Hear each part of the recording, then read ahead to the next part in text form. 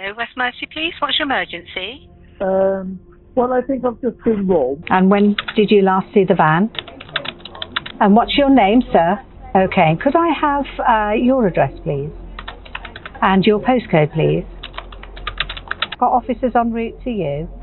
Thank you, sir. Thank you. Bye bye. Hi, I'm Rosie Shorter. I'm a call handler at Hindlip and have been here for four years.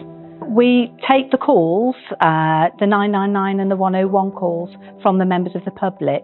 So we're, we're the first people that um, they get to speak to, and then we um, we have to engage with them to find out what the issues are that they're calling the police for. Police emergency. Okay, where are you? What's your location? Oh no, have you got anything to apply pressure to the wound at all? Okay, we're going to get someone straight to you with an emergency. Stay in the line for me. What's happening now? Where is he? Okay, just stay in the line for me, okay? Officers are nearly there with you, all right? Uh, my name is Jade. Um, I'm based at Hindlip HQ in the control room, which is here.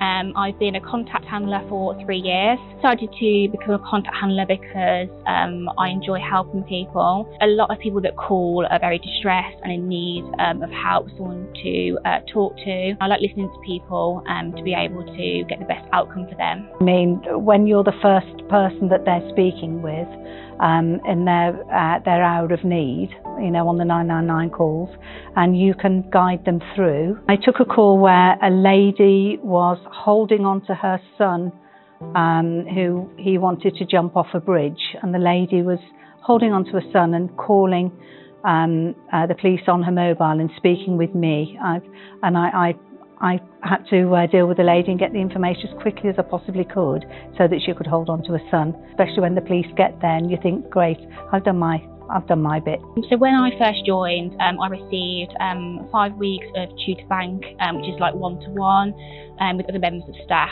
uh, where you get your training on the police system that you use.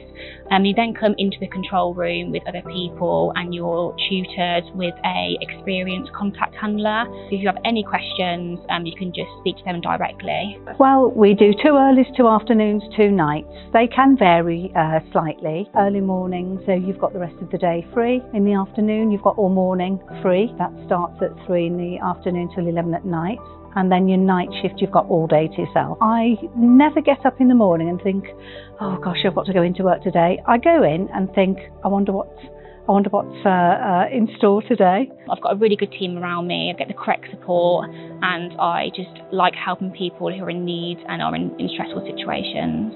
You're part of a team, and your team members, they're, they're great. They become friends and um, we do activities outside of uh, uh, our role as well. So, um, yeah, and informative. If we we can just ask each other, what would you do with you know with this? Come and join us. Come and have a look. It's great.